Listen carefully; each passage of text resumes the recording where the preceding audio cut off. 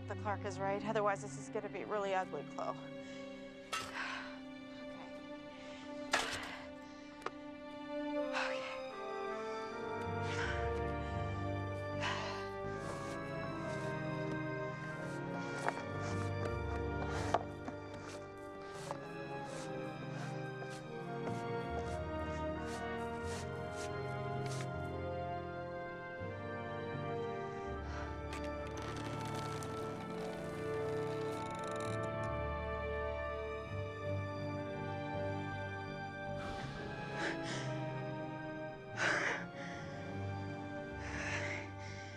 Was right.